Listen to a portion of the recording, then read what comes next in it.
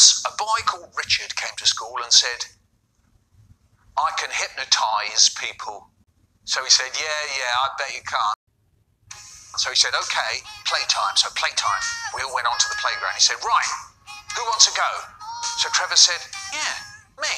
So this boy, Richard, made Trevor lie down on the ground on his back and he took this gold ring out of his pocket and he put it very carefully between Trevor's eyes on the bridge of his nose. Then Richard took this conker out of his pocket. It was on the end of a string, and he starts swinging the conker to and fro in front of Trevor's eyes, and he starts up talking in this spooky voice. Watch the conker, watch the conker, go to sleep, go to sleep. Watch the conker, watch the conker, go to sleep, go to sleep. And it went on for ages.